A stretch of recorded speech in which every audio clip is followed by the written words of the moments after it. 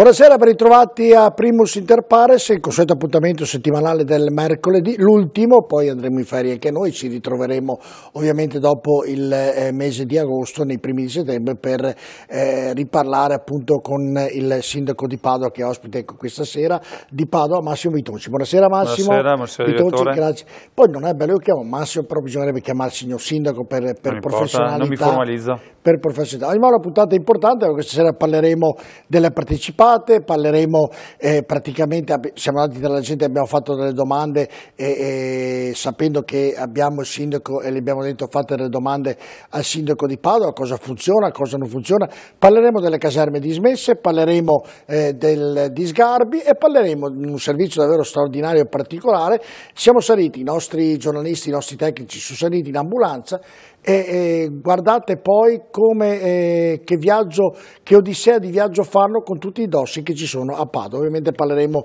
di tutto questo con il sindaco Massimo Bitonci, davvero un servizio molto interessante. Cominciamo allora, eh, tutto bene intanto la solita sì, domanda sì. d'apertura?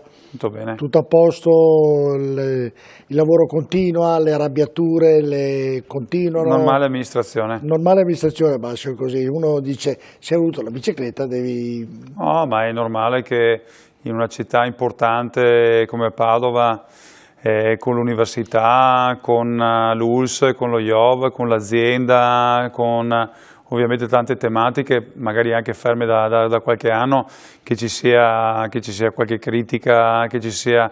però insomma noi stiamo lavorando, eh, i risultati ci danno anche ragione, eh, è logico che nell'attività amministrativa c'è una parte di programmazione e una parte in cui si vedono poi nascere le opere pubbliche, ci sono tante gare in corso e quindi insomma, chiedo anche sempre un po' di pazienza anche quando effettuiamo i lavori, dopo parleremo magari anche delle opere pubbliche, eh, dovremo fare anche un intervento per esempio Uh, importante sia sulla viabilità di Ponte Vigo d'Arzere, sul Bassanello, uh, abbiamo progettato, stiamo progettando anche eh, una rotatoria nuova vicino a quella della stanga per eliminare eh, tutti i semafori che ci sono eh, lungo via Venezia, quindi ehm, anche là insomma, sono ovviamente opere che potranno creare qualche disagio, abbiamo via Morgagni, anche, anche, lì che abbiamo approvato il progetto definitivo, andiamo verso l'esecutivo e la gara, quindi saranno potate le alberature, sarà sistemata la viabilità,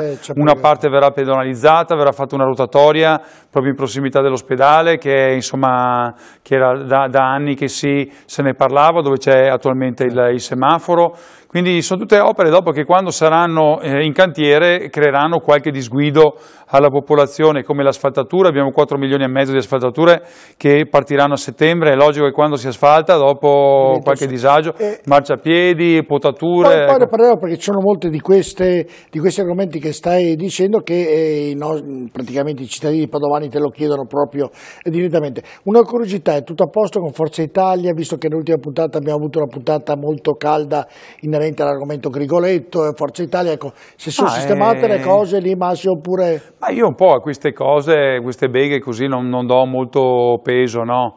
Uh, nel senso, uh, io lavoro uh, con la giunta e con i consiglieri, il programma è un programma chiaro, penso che quando fai un'opera pubblica è logico che qualcuno può andare bene e qualcuno no, ma in realtà la cosa peggiore è l'inedia, quando uno non fa assolutamente nulla, eh, qualcosa l'abbiamo anche modificato, se pensiamo alla questione delle chiusure del centro, abbiamo valutato dopo una settimana che con le biciclette c'è compatibilità con i pedoni e come fa un'amministrazione seria che, che, fa, che fa delle, delle, proposte e poi valuta, perché la sperimentazione cosa serve per sperimentare? No? Quindi abbiamo fatto una settimana senza, una settimana con e adesso la sperimentazione continua fino a settembre, ov ovviamente con le, con le, biciclette, quindi se non ci sono problemi di conflitti con i pedoni, quindi è un po' normale come si fa una rotatoria, si mette in New Jersey, si spostano eh, per vedere se funziona Succede, bene. No, tutto a posto. Insomma, Anche la rotatoria della stanga all'inizio aveva qualche tema che poi è stato eh, risolto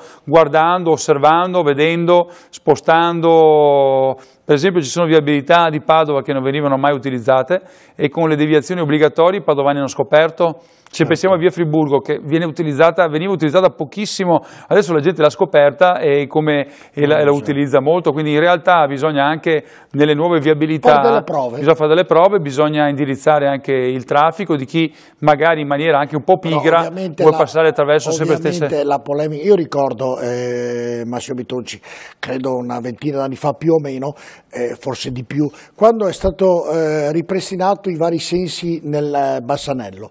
È successo che eh, praticamente da un senso doppio ha fatto un senso unico che si girava attorno e, e il primo giorno, la mattina successiva, c'era il caos c'era ore di code, un, un, davvero una cosa incredibile. Ovviamente stampa, tutti hanno criticato, poi con il tempo se, insomma, si è visto che era... Ma un sistema del genere cioè, può, la prova Bassanello stare, può funzionare solamente con un sistema rotatorio, là c'è un unico impedimento che tutti i padovani conoscono, che è la linea del tram, che occupa una sezione importante della strada, il tram ha sempre la priorità e quindi è una causa eh, di arresto del traffico. Eh, quindi noi stiamo adesso studiando una soluzione preliminare ai semafori, c'è sempre questo problema del tram, quindi dobbiamo cercare una soluzione anche un po' eh, alternativa perché cioè, ovviamente no, il tram ha questa priorità che deve essere lasciata. Ma ci avevo fatto un paragone perché quando un sindaco o chi per esso fa Fai un qualcosa. lavoro, fa qualcosa, il giorno dopo, prima ancora di attendere il risultato effettivo reale che eh, ci vuole del tempo ovviamente per poterlo verificare. Ecco, è successo così anche in, per altre opere che hanno subito. detto non funziona e così dopo, dopo esatto. funzionavano. Esatto. Adesso per esempio su, eh, su via Tomaseo, dopo questa fase di sperimentazione abbiamo visto che anche là eh, in effetti le macchine possono passare, la gente ha imparato a fare il giro e, e quindi è servito insomma far imparare e utilizzare anche il nuovo cavalcavia. Eh, quindi adesso la gente utilizza quello e utilizza anche via Tomaseo, quindi anche il traffico là si è anche si è sistemato, ma insomma ovviamente Padova la viabilità è un po' una scacchiera, no? E quindi bisogna, muovendo da una parte, bisogna stare attenti dall'altra. Ecco, l'unica cosa, una domanda, visto che abbiamo parlato di questo delle scacchiera, come mai, faccio un esempio, sia per quanto riguarda il fagiolo, sia per quanto riguarda altri punti importanti della città, quando piove succede il pandemonio, c'è la coda dappertutto. Per perché, si tende, perché, si tende, ovviamente a, a, a utilizzare solo l'automobile e lasciare stare magari gli altri mezzi eh, che sono le biciclette, che sono i motorini, e, e si tende a accompagnare tutti quanti i bambini a scuola con la macchina e quindi il, quando piove solitamente c'è un problema di, di, di, di, traffico che ovviamente si, questo, questo, è abbastanza normale, si vede un po' in tutte le città. Eh. Questo... La pioggia è tremenda insomma. Adesso su, uh, a Ponte Vigo d'Asde, il prossimo progetto che stiamo facendo a Ponte Vigo d'Asde era a sud, vicino alla rotatoria uh, chiamiamo Exaimp, um, uh, lì stiamo andando avanti in maniera abbastanza veloce, eh, abbiamo sentito già il curatore eh, di quel fallimento di quell'area che c'è eh, più, a, più, a, est, là eh, stiamo già studiando la nuova viabilità, quindi anche là verrà creato un sistema rotatorio utilizzando la nuova la canna del, del, ponte che per adesso non è stata utilizzata e vedrete che anche là io penso che sbloccando la viabilità a sud di Ponte Vigo d'Arzere eh, sarà molto più facile anche l'accesso a nord. E quindi adesso stiamo valutando anche a nord eh, quel progetto, però prima facciamo quello a sud, vediamo come funziona e se effettivamente sblocca. Funziona bene, verrà messo anche in atto dall'altra parte della città. Beh, questo qua è già un buona, una buona iniziativa. Vabbè, allora andiamo con ordine Massimo Bitonci, andiamo a parlare di partecipate. Eh, da quando sei arrivato c'è eh, molto movimento per quanto riguarda appunto le partecipate, ci sono molte fusioni, andiamo a vedere il servizio di di Tullio Trivellato e poi lo commenteremo in studio. Le società partecipate sono spesso una fonte di spesa inutile, sono causa di disastri evidenti. Lo diceva non troppo tempo fa il procuratore della Corte dei Conti del Veneto Carmine Scarano, sottolineando che nelle partecipate la spesa pubblica è incontrollabile. Proprio per fronteggiare questa voragine nel nome della spending review, il governo Renzi aveva messo in campo una legge ad hoc chiamando i comuni a predisporre un piano di razionalizzazione delle società partecipate. A Padova l'amministrazione Bitonci si era mossa con un certo anticipo anticipo in questo senso, iniziando già a recuperare le perdite delle società partecipate, sostituendo chi aveva creato buchi, ma anche riducendo il numero dei consiglieri, un po' in tutti i CDA, tagliando i gettoni di presenza, una riduzione media del 30% in tutti i ruoli. Ma quali sono le società che vedono la partecipazione di Palazzo Moroni? Le principali sono APS Holding SPA per il trasporto pubblico, Farmacie Comunali di Padova SPA, Finanziaria APS SPA, Aeroporto Civile di Padova, Banca Popolare Etica, il Consorzio ZIP Interporto Padova, Fiera Immobiliare di Padova SPA, il Mercato Agroalimentare di Padova, il Parco Scientifico e Tecnologico Galileo e ERA SPA, una multi-utility che gestisce i servizi di igiene urbana, acqua e gas. Nell'ottica di una spending review e dunque la razionalizzazione della spesa, grandi manovre sono in corso anche a Padova. Tra le novità di questi giorni la vendita di 8 milioni e mezzo di azioni ERA che ha fruttato 20 milioni di euro, denaro che il sindaco assicura sarà interamente speso in opere pubbliche per la città. Telerete partecipata che si occupa di informatica, cultura e turismo cederà a breve il 51% delle quote, mentre sul tema della fusione delle partecipate di Padova già da settembre-ottobre APS Finanziaria, APS Holding e APS Opere e Servizi diventerà un'unica società con un unico CDA e un unico bilancio. Altra novità imminente, la fusione dell'Interporto di Padova con quello di Rovigo, iniziativa partita dall'amministrazione patavina che darà vita al più grande interporto del nord-est. Da ultimo, ma non meno importante, il futuro della fiera di Padova, che dal 1 agosto tornerà a parlare padovano grazie all'affitto del ramo d'azienda al gruppo padovano G-Planet per un progetto di rilancio che punta a riportare nei padiglioni fieristici della città del Santo molte di quelle rassegne e manifestazioni andate perse nel corso degli anni. Termine che non mi piace, però quanta carne al fuoco. No, devo dire che in soli due anni, mm, eh, e penso che chi sta seguendo questa trasmissione, con questa sintesi però molto puntuale che è stata fatta, devo dire, ehm, si rende conto di, di, di che lavoro è, è, stato fatto. Cioè, in tutte le nomine che io ho fatto ho chiesto la riduzione dei compensi, la media è circa un 30% quindi c'è stato, diciamo così, un sacrificio anche di chi è stato nominato all'interno dei consigli di amministrazione. Poi abbiamo preteso le aggregazioni e le fusioni. Allora, mentre a livello nazionale eh, si parla, si parla, si parla e dopo di aggregazioni non se ne fa neanche se una, si tiene anche l'ultima società de, come la Svimez, quella che fa eh, lo, lo, studio eh, per quanto riguarda i, le problematiche del sud, eh, della... quindi mm, c'è di tutto che finanzia questo governo, noi invece abbiamo fatto una scelta molto importante, cioè intanto la fusione APS, APS con eh, Bus Italia, è nata la più grande società di trasporto del Veneto con mille dipendenti e eh, che sta gestendo il servizio di trasporto pubblico a Padova e Rovigo. Ehm, poi la fusione che è già cominciata tra le tre società di servizi padovane, quindi la PS finanziaria, la Opere Servizi, quella che cura ovviamente i parcheggi e il forno crematorio e il cimitero e eh, la, holding, la, holding, che è proprietaria della partecipazione con Bus Italia Veneto, sarà un'unica società con un unico consiglio di amministrazione a tre, quindi c'è la riduzione degli altri, certo. degli altri amministratori che erano sulle altre società. Come è stato ben detto, Telerete è stata messa in vendita il 51% della società, questo perché Telerete fa dei servizi che non sono eh, servizi direttamente collegabili con il cittadino, cioè il call center non ha niente a che vedere. vedere, sono più attività che possono andare, oppure eh, la fibra ottica, le telecamere o certi tipi di servizi di informatica e di rete, sono, devono andare verso il privato, cioè non ha senso che la tenga un'amministrazione pubblica e quello verrà, verrà venduto.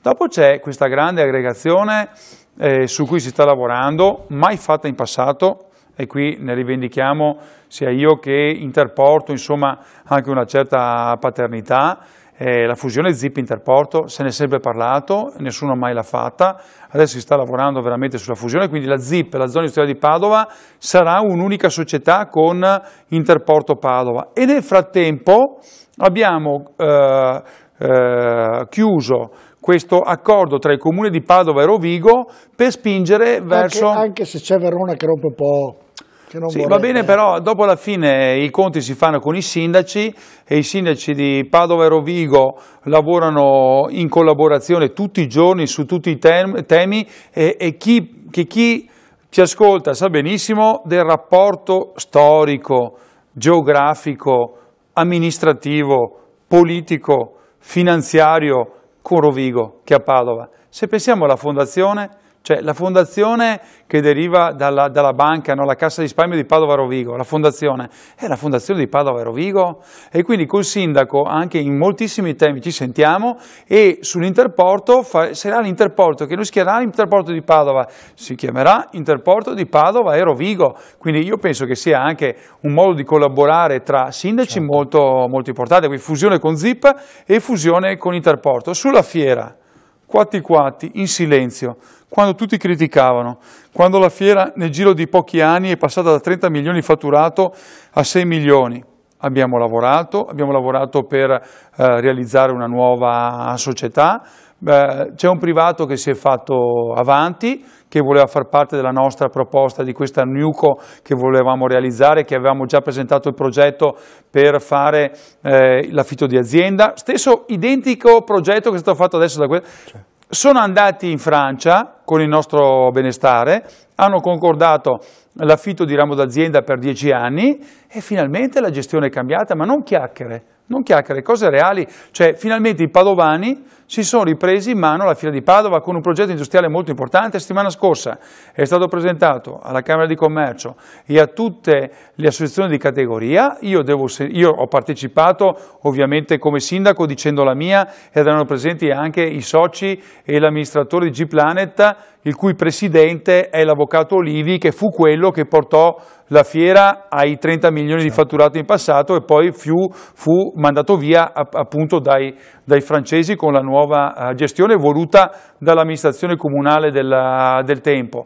Eh, devo dire che invece la situazione adesso mi sembra molto fluida e la situazione di categoria, proprio l'altro giorno ho sentito un coro unanime eh, di eh, presidenti che hanno detto benissimo, facciamo i nuovi progetti, eh, la zona della fiera deve essere utilizzata anche per la New Economy, anche per la Smart City, anche per l'università, eh, si sta lavorando anche per spostare anche il Parco Galileo, cioè stanno facendo tante cose che, eh, per cercare di utilizzare spazi che abbiamo e razionalizzare le spese, le perdite e cercare di portare tutte quante le società inutili. Anche se ci vorrà del tempo perché da 30 milioni a 6 milioni riportarle ai 30 milioni, visto l'andamento... Però da quello vista... che ho capito eh, il questo affitto di ramo d'azienda, questa società eh, padovana, lo fa con la propria società, quindi non con una nuova società che quindi potrebbe anche andare male eh, e quindi lasciata poi in un angolo, lo fa e quindi rischiano in proprio e con una società che ci hanno detto l'altro giorno ha già 20 eh, milioni di fatturato ed è già esperta nell'allestimento delle fiere, quindi andiamo da chi eh, questo tipo Conosce... di attività la fa tutti i giorni. E il centro congressi all'interno? Il centro congressi, sta, i lavori stanno andando avanti, eh, abbiamo sollecitato eh, sia io eh, prima e poi il Presidente Zilio il fatto che si faccia la gara, eh, fra due anni sarà pronto, io penso che bisogna correre assolutamente per fare la gestione, eh, l'ente fieristico nuovo eh, si è reso disponibile eh, mettendo a disposizione un padiglione per attività, eh, cominciare l'attività congressuale ora e quindi in prospettiva poi della migrazione nel nuovo centro congressi.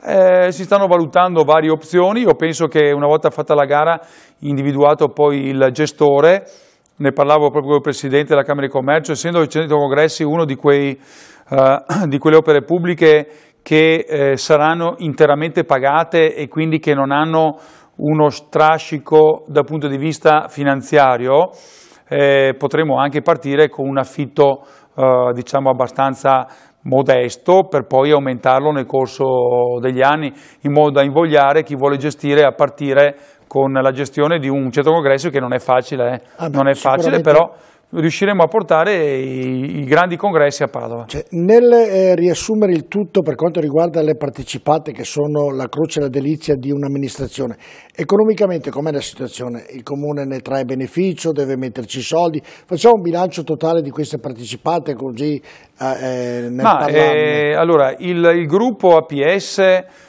eh, lo scorso anno eh, e negli anni precedenti chiudeva sempre con una perdita molto pesante, molto pesante. E, mh, eh, il prossimo anno, quest'anno c'è comunque una perdita meno pesante di quella del, del, dell'anno, dell scorso, eh, dovuta a una sistemazione di poste in bilancio che erano rimaste là per molti anni e ovviamente i nuovi amministratori eh, non, non, hanno voluto ripulire il bilancio da alcune eh, poste inesistenti e alcune insussistenze, pensare che c'erano 70 monitor, 70 monitor mai mai messi nei tram, mai messi nei tram e che erano a bilancio per 350 mila euro, e quindi sono stati completamente svalutati. C'erano pezzi di ricambio di, di, autobus non più in uso, quindi più utilizzati, a magazzino, a magazzino, ancora presenti in bilancio e mai svalutati. Quindi il CDA ha deciso di fare un'operazione di pulizia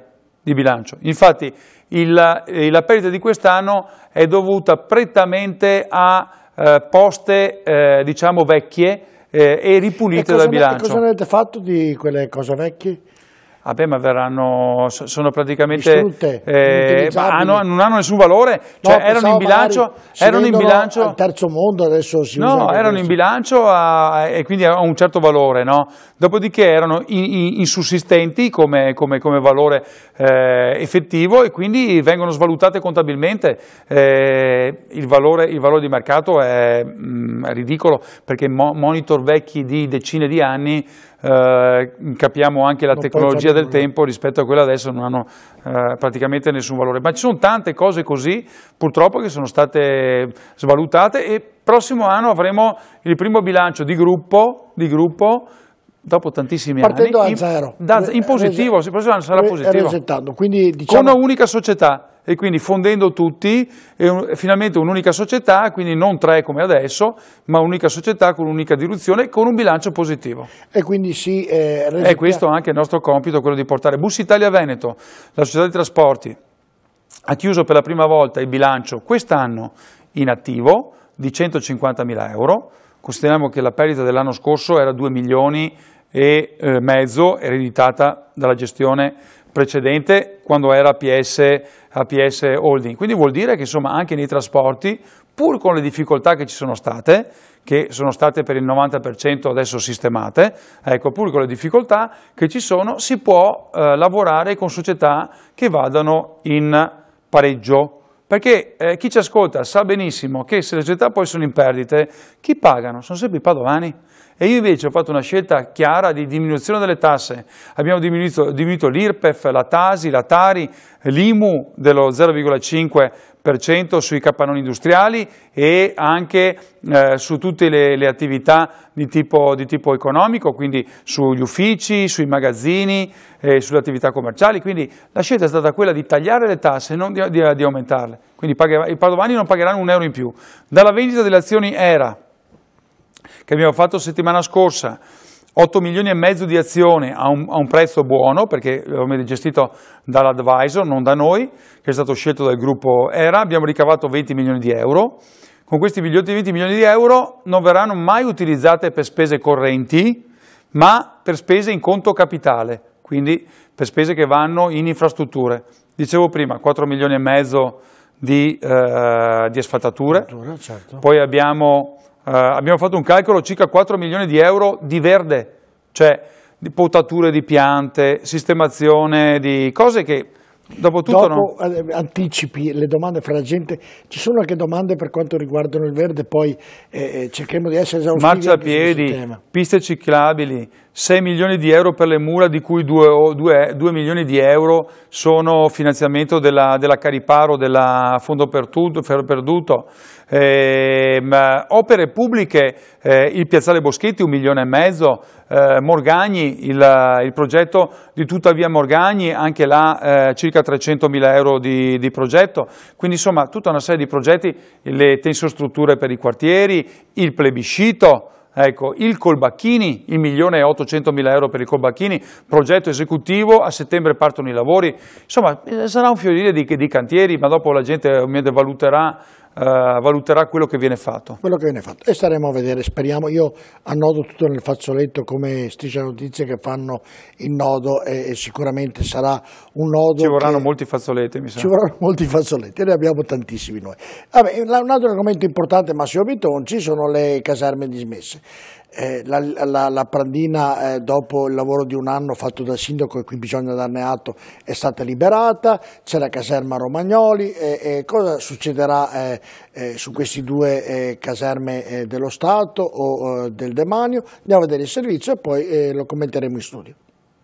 Dare nuova vita alle caserme dismesse della città, ma anche a quelle non ancora del tutto libere, è un obiettivo dell'amministrazione, che da mesi sta lavorando per dare un futuro alla ex caserma Prandina, Romagnoli e Piave, dove realizzarvi rispettivamente un parcheggio a servizio del centro, aree di aggregazione e spazi universitari. A manifestare l'idea di offrire alla città la possibilità di riutilizzare gli spazi della caserma Piave di Via Moro era stato un anno fa il generale del corpo d'armata Bruno Stano, proposta accolta e discussa con l'Ateneo Patavino, tanto che il rettore Rosario Rizzuto il 5 luglio scorso si è recato a Roma presentando un progetto di ristrutturazione. A seguito di questo incontro, il sottosegretario alla difesa Gioacchino Alfano ha convocato il sindaco per continuare la trattativa della cessione della caserma, destinata, secondo il progetto, ad accogliere alcune facoltà, tra cui economia, il Conservatorio Pollini, l'Archivio di Stato, oltre a una parte di residenziale e direzionale. Cogliendo l'occasione al volo, nell'incontro si è discusso anche della ex caserma Prandina,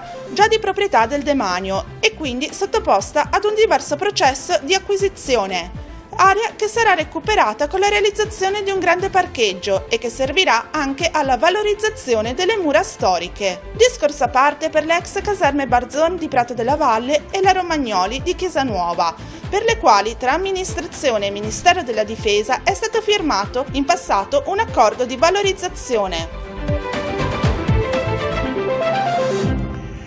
Ecco, nell'immagine, ma subito tutte queste caserme sono praticamente in centro perché la Romagnoli è vicina, il centro Prato della Valle, la caserma Piave, la Prandina, sono tutte in centro inutile, ed è un peccato mortale avere uno spazio inutilizzato e in degrado come abbiamo visto.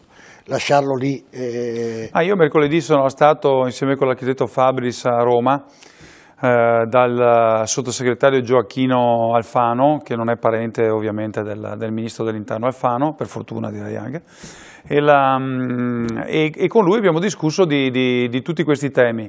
Lui ha chiamato il sindaco, ci conosciamo da parecchi anni perché lui era eh, capogruppo in commissione bilancio per, eh, per, Forza Italia, io lo ero capogruppo in commissione bilancio alla Camera per la, per la, Lega. quindi abbiamo fatto cinque anni assieme in commissione, capite che insomma dopo anche i rapporti ovviamente umani e di collaborazione rimangono, quindi lui quando ha visto eh, che interessava questo progetto mi ha subito chiamato. Intanto mi ha fatto piacere perché il sottosegretario eh, ha detto che a settembre faremo un convegno proprio qui a Padova, lo organizzeremo noi, ci sarà lui, ci sarà Reggi che è eh, ehm, il direttore del Demanio e ci sarà ovviamente il direttore del Demanio Veneto e anche altri, anche le forze militari, perché il modello Padova lo stanno un po' portando in giro un po' per tutta l'Italia, cioè Padova è stato l'unico comune che nell'ultimo anno e mezzo eh, con la nostra amministrazione ha già fatto tre valorizzazioni importanti.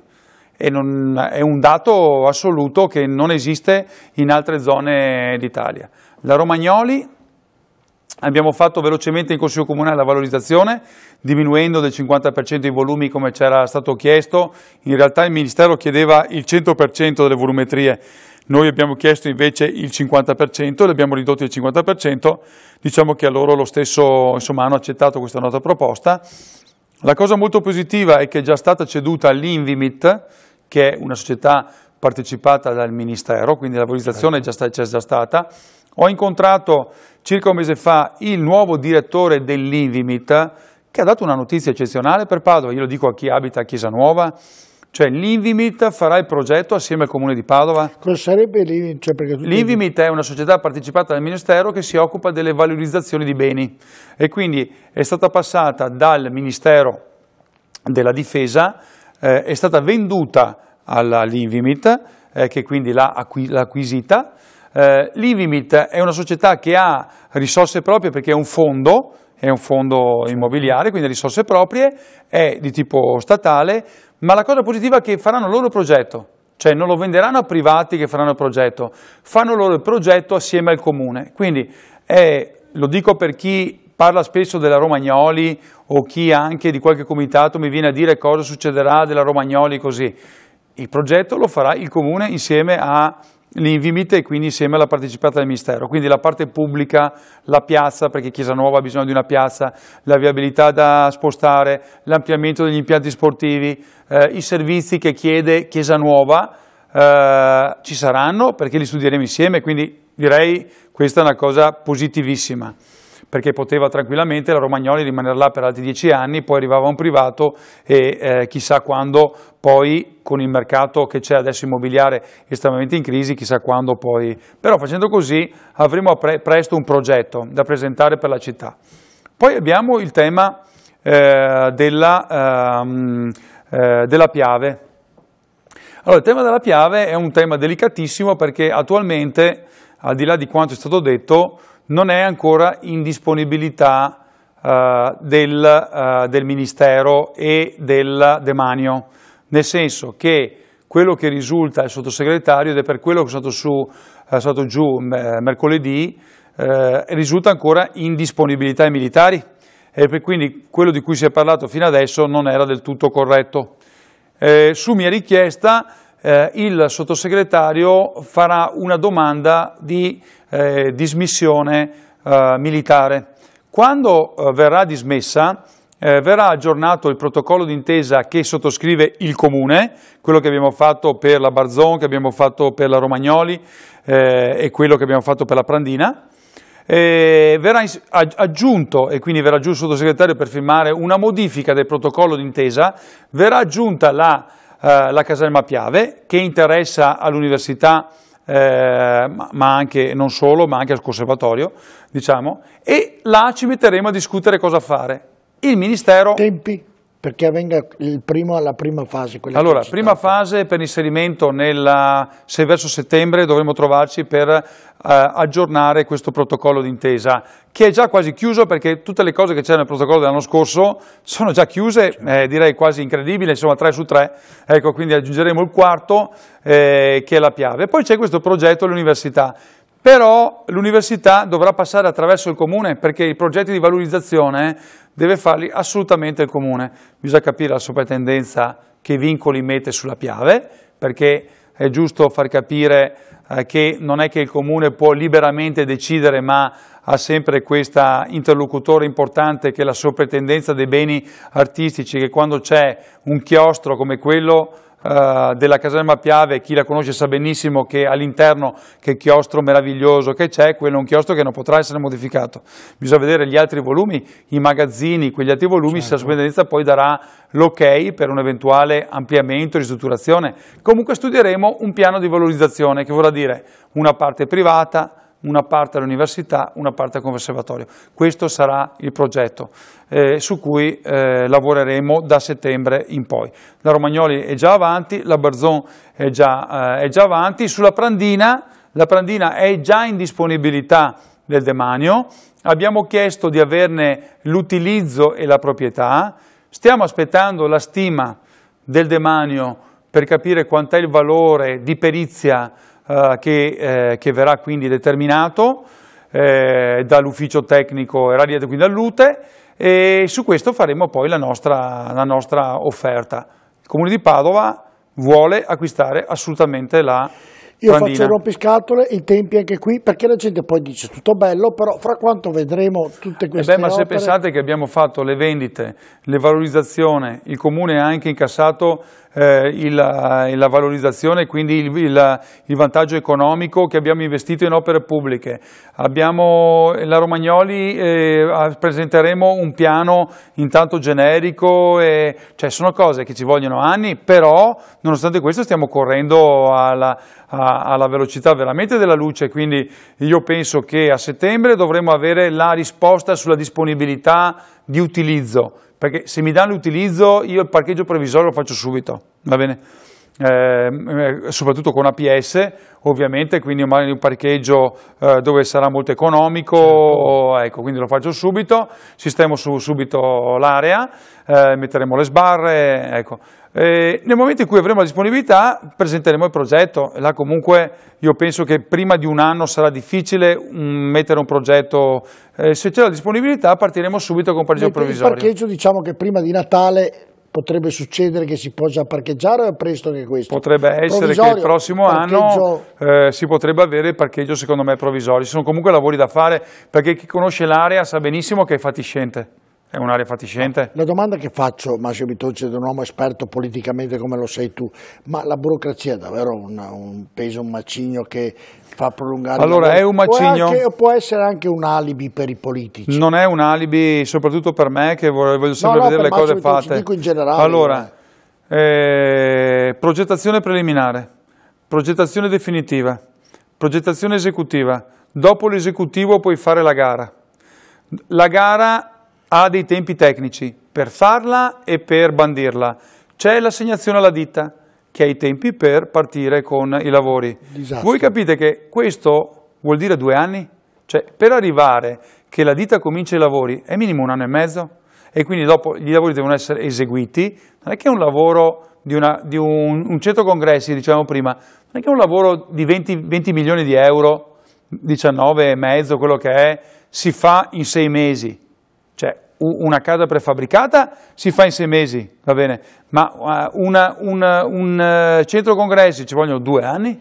Questa no, è la realtà, cioè, eh, un parcheggio magari si può fare in sei mesi se devi abbattere e fare delle strutture, diciamo così, immobili, ma uh, un'opera un pubblica voglio, fissa ci vuole, ci vuole, tempo, tempo. l'importante è che partino i lavori. Certo, però la burocrazia fa sì che anche nei sei mesi o nel tempo breve ti prolunghi un tempo che... Pensando, che, pensando sempre che la soprintendenza qualsiasi opera pubblica può bloccarla.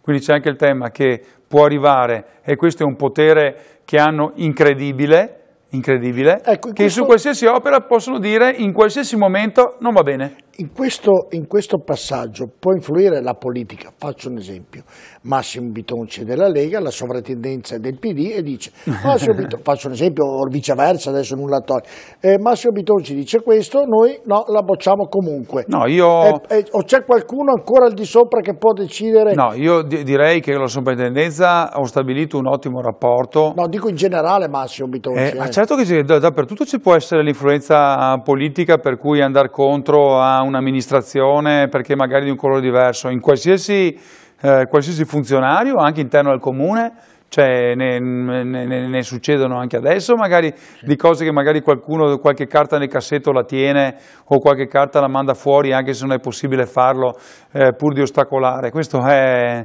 sta nelle cose, non dovrebbe succedere però purtroppo succede. Devo dire che con la soprintendenza Pensavo ci fossero dei paletti. Abbiamo, abbiamo eh, instaurato un sistema eh, e ringrazio il soprintendente Capo eh, e soprattutto chi ci segue che Solagni eh, per le cose padovane. lo ringrazio perché su qualsiasi cosa loro vengono, guardano le carte prima, ci dicono le cose da sistemare, capiamo subito se la cosa è impossibile o si può essere valutata, quindi è così che si fa, cioè le cose si mandano prima. Sulle mura di Padova mh, mm, abbiamo mandato tutti quanti i progetti in modo che eh, il sovrintendente valuta prima certo. eh, effettivamente il progetto sì, e i lavori da fare. di un colore politico diverso, blocchi... Ma loro, lavoro, loro cioè, hanno anche ragione, cioè, anche. Quando, quando ho parlato Insomma, con il sovrintendente abbiamo avuto anche recentemente un incontro in cui abbiamo discusso un po' tutti i temi padovani.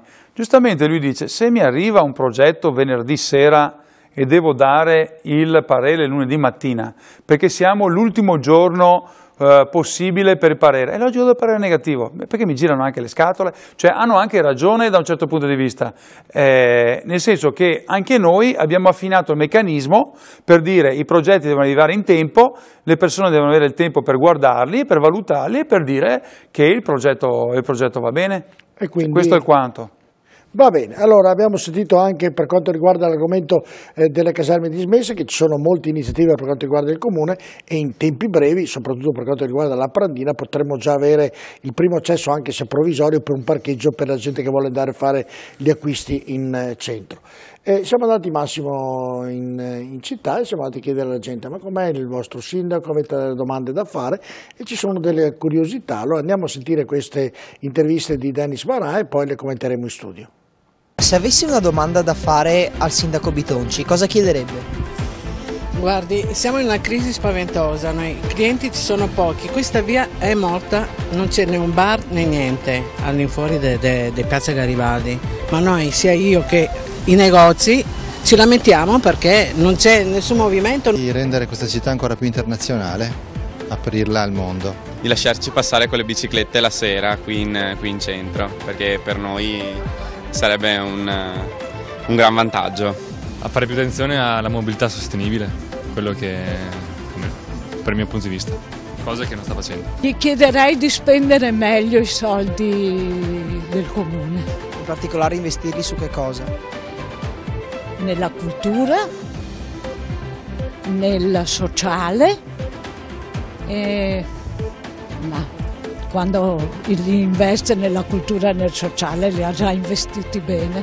Mettere più alberi dove in particolare? Dappertutto, perché vabbè io vivo in Australia, però sono di Padova e quello che manca è il verde dappertutto, cioè mi rendo conto che non è una richiesta estremamente legata alla politica, però sicuramente alla vita migliore, al lifestyle. Quello di mettere a posto le strade, perché nel cosa, senso cosa... che ci sono tanti marciapiedi che sono dissestati, stata fatta domanda diverse volte, però non si vedono diciamo, miglioramenti. Di tenere un po' più pulite le periferie di Padova, che sono i marciapiedi che fanno veramente senso dalle bacie che ci sono. La questione intanto del, della sicurezza, sicurezza specialmente eh, nella periferia che leggiamo ogni momento. Eh, che fanno ruberie, percuotono gli anziani e via dicendo. Non avere paura perché siamo in tanti al mondo, quindi di etnie diverse e quindi dare spazio un po' a tutti, certamente con gli stessi criteri con cui vengono controllati eh, gli italiani o come i cittadini padovani diciamo. Stress ce n'è perché ho incontrato tante adesso, macchine di polizia anche a piedi, dunque c'è, però, però non so cosa ci vorrebbe, vacchetta magica forse. Insomma ce ne sono tanti, però mi sembra uno tosto bitonci, non ha mica paura a risolvere i problemi dal senso reale delle difficoltà di fare il sindaco di una città, perché tutti chiedono, nessuno dice beh bravo il sindaco, tutti devono chiedere qualcosa della strada, gli alberi, anche le più eh, diciamo piccolezze, però tutti chiedono al sindaco un qualcosa e il sindaco Ma deve cercare di soddisfare tutti o la maggior parte. In realtà, eh, cioè, poi io riscontro... Però l'ultimo ha detto una cosa, eh, il sindaco è tosto. Eh. Il, il, um, in realtà, il, cioè, quando io faccio gli incontri come, come è successo settimana scorsa a Forcellini, eh, quindi quando io faccio gli incontri nei, nei, nei quartieri mh, mm, vengono 200 persone, sono tante 200 persone, sono tante. Io mi appunto tutte le problematiche e poi noi rispondiamo uno a uno e cerchiamo anche di fare il piano eh, delle manutenzioni, delle cose da fare, perché alla fine sono tutti problemi, avete capito, legati più alle manutenzioni ordinarie che la gente non chiede magari grandi opere eh, infrastrutturali. Pulizia, sicurezza. Pulizia, sicurezza, il verde, mm. ecco. Dopo, dopo c'è un, un tema c'è un tema che è, tutto, che è, tutto, cittadino, che è quello legato agli alberi, dove io penso che Padova sia una città verde, cioè è una città verde, una città con, con parchi, con giardini, con uh, zone completamente alberate, eh, con corsi d'acqua meravigliosi, su cui stiamo investendo parecchio e non ci si può arrabbiare se tagliamo 25 piante che poi vengono sostituite, cioè c'è un po' una credine forse ideologica su, su, questa cosa, perché i dati dicono che noi piantiamo più di quello che viene sostituito. In realtà il tema degli alberi è un tema delicato perché alcune essenze vanno, dopo un tot di anni, vanno, vanno sostituite, vanno tagliate perché diventano pericolose. Eh, e quindi noi per quello abbiamo istituito questo registro in cui eh, vengono annotate anche le piante, dopo un tot di anni come si fa all'estero, in tutti i paesi eh, civili, che dopo un tot di anni vengono tolte, vengono rimpiantate eh, in, dopo quando raggiungono una certa altezza e una certa dimensione. Tranne i secolari, insomma. Questo, che... tranne gli alberi secolari, che quelli tranne ovviamente tre, non, i tre pini non vanno... dove, dove c'è l'orto botanico che li hanno tagliati proprio perché erano ammalati, cioè magari era era diciamo una, una, scultura quasi della città. Sì, però eh, anche là, quella non è una cosa che fa il comune, certo. cioè nel senso che quello ovviamente è stato fatto dall'ente religioso, non, non, da, non, da, noi. comune. Quindi eh, tante volte vengono anche addebitate delle colpe delle cose su... Dopo, se, se viene eh, ristrutturata una via completa e ci sono magari degli alberi che impediscono la sistemazione, vengono tagliati e ripiantati con delle essenze magari locali un po' più piccole, non capisco anche il fatto che venga, venga, venga Mh, ci sia questo accredine nei confronti dell'amministrazione quando si fanno operazioni così, peraltro con l'ok anche uh, eh, con l'ok o con perizie fatte uh, su, direttamente sugli alberi, quindi le potature vanno fatte. Se penso a Via Morgagni, adesso abbiamo questo progetto definitivo e eh, partiranno il prossimo anno i lavori di sistemazione completa di Via Morgagni, cioè su Via Morgagni eh, eh, ormai le, le, piante si toccano una con l'altra, cioè va completamente potate, potare vuol dire ovviamente tagliare in modo Uh, e quindi devono essere professionisti e non gente magari che taglia uh, in maniera che magari fa morire la pianta però le potature vanno fatte perché poi sono pericolose. Io eh, eh, all'incontro che ho fatto settimana scorsa, tanti mi chiedevano di potare le vie, ho preso nota, lo passo al verde e nei 300 eh, mila euro che abbiamo stanziato l'altro giorno ci sono tutto un piano di potature per settembre. Ecco, marciapiedi, la... marciapiedi. marciapiedi abbiamo in importi, abbiamo 4 milioni e mezzo tra, ma, tra marciapiedi e asfaltature, quindi vengono, vengono fatte. Abbiamo fatto un calcolo l'anno scorso, quando l'assessore era ancora Boron, eh, Boron che eh, calcolavamo che c'erano 25 milioni di euro di marciapiedi da rifare a Padova. Capite che è tutto il bilancio di un'amministrazione? 25 milioni di euro. Dopo, io capisco tutto, ma non è che in due anni puoi fare tutte le opere che non sono state fatte in vent'anni. Cioè un po' alla volta stiamo tentando di, di, cultura, di il, il, il, gap. La cultura? cultura io, io riporto i dati, i dati eccezionali perché dopo bisognerebbe leggere i giornali o alcuni giornali anche un po' in maniera critica sui dati che evidenziano e che non evidenziano. Cerchiamo di guardarli un po' tutti e di guardare anche la TV quando parla il sindaco e gli assessori che dicono le cose e che dopo c'è riscontro.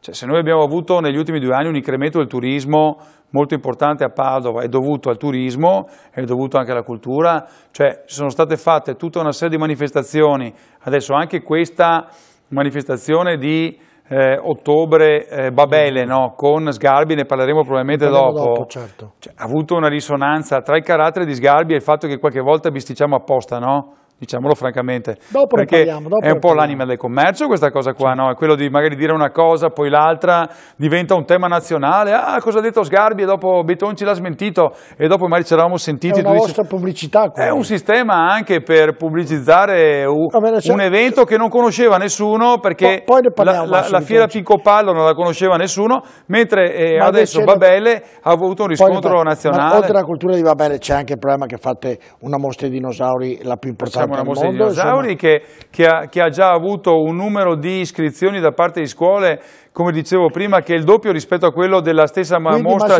mostra, simile, certo.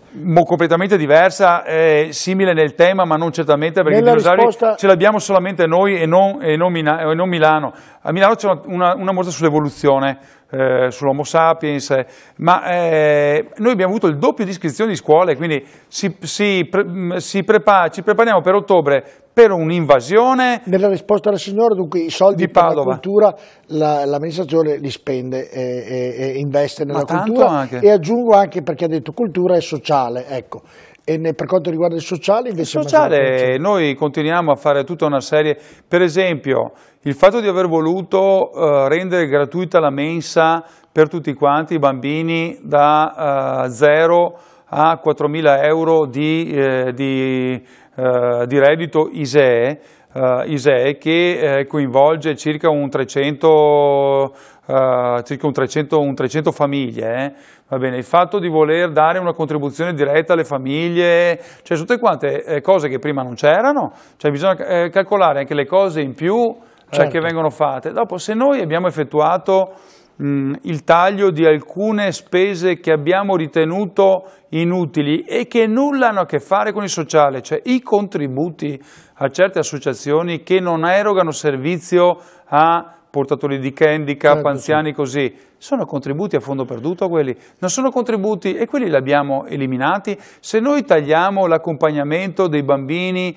rom a scuola che costava mezzo milione eh, di euro, non è che quello è un taglio, perché tanto non andavano a scuola neanche lo stesso, cioè, abbiamo tagliato delle cose che abbiamo scoperto inutili, completamente inutili. Ieri, se, ieri eh, l'altro- eh, settimana scorsa è venuto- sono venute due signore a ringraziarmi per- perché sono andate in vacanza per la prima volta nella loro vita grazie a eh, questo che facciamo per il sociale e quindi mandiamo ovviamente al mare, in montagna, gli anziani che non possono e così. Non erano mai andati in vacanza, è andata in vacanza col comune, era contentissima, Certo, ecco, con nelle- una somma nelle- anche Nelle limitatissima. domande cerco di, di, di Cioè, accelerare. bisogna capire anche le cose in più e nuove, che, innovative che abbiamo Certo. fatto che si facevano prima. Cerco di accelerare, ti interrompo, non è bello però interrompo, abbiamo tante cose da Sì. dire. Eh, prima di andare in pubblicità però, una, eh, le biciclette adesso possono andare in centro per i due ragazzi Ma, che eh, dicevano le già da biciclette. dieci giorni, quindi, quindi- non so come è stata fatta l'intervista, No, ma è stata fatta ieri, dunque... è già dieci eh, giorni che passano le biciclette, c'è sempre molto- l'eco di... Sì, vedi, l'eco perché so- è, è recente, non è fatta un mese fa, è stata fatta ieri, quindi eh, questi ragazzi non sono a conoscenza che in bicicletta È già, possono andare. è già 15, quasi 15 giorni che, che si, Nel- che si può tranquillamente girare in sentire- bicicletta ma- la sera, la sera per di giorno è, È normale, anche se le biciclette, cioè io vorrei davvero che un giorno tu, eh, Gino, so te, se l'ho già detto perché poi invecchiando magari uno rifà le stesse domande, eh, corrono in bicicletta e i ciclisti sono davvero...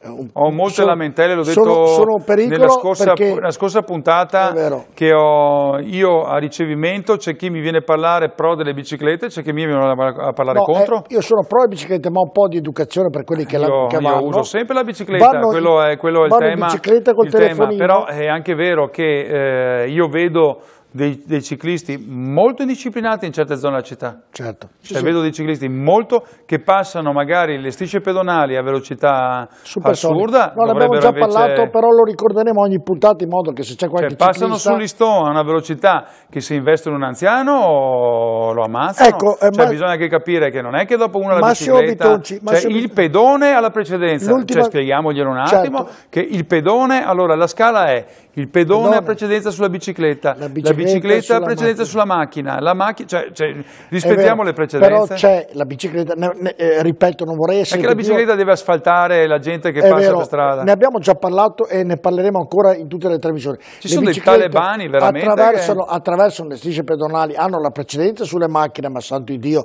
senza dignità proprio. Io Sembrano... ho raccontato l'altra volta, lo ripeto, ho visto un incidente giù da- dal cavalcavia Camerini, va bene, dove una macchina ha investito una signora davanti a me.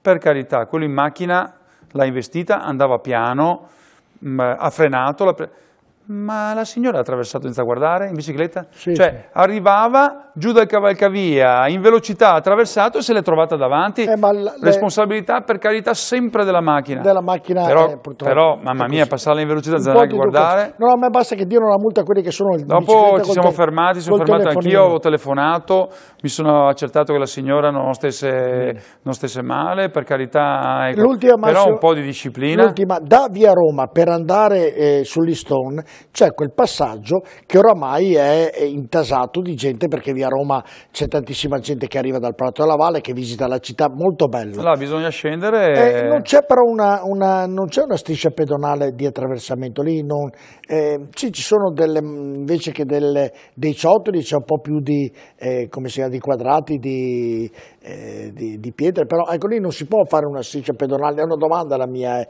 perché tanti dicono arriviamo lì, Là non mi ricordo se c'è o no la no non c'è nulla, dal eh, eh, un Sì, passaggio forse da, l'abbiamo visto prima.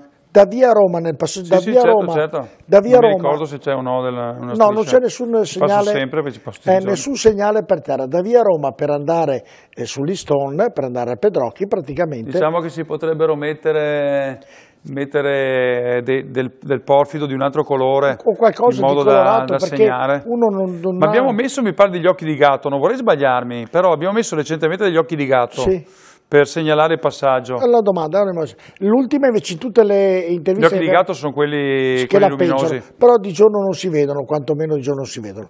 Eh, l'ultima prima della pubblicità, una, eh, una, una cosa che ho notato nell'intervista fra la gente, nessuno ha detto ci sono delle buche per, per le strade tutte le città ci sono le buche qui, nessuno l'ha detto, questo è un lato positivo, insomma, nessuna lamentela per quanto riguarda ci le sarà, buche. Ci sono sicuramente le buche, che, stiamo eh, investendo molto nelle sistemazioni però nessuno, delle strade. Però nessuno l'ha detto Massimo Vitonci, quindi è un lato positivo, prendiamolo così. Andiamo alla pubblicità, rientro parleremo di sgarbi e dei dossi, e tra poco rimanete con noi.